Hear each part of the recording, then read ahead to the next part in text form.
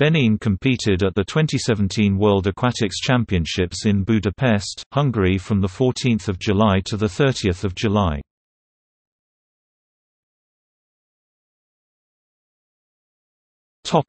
Swimming Benin has received a universality invitation from FINA to send three swimmers two men and one woman to the World Championships.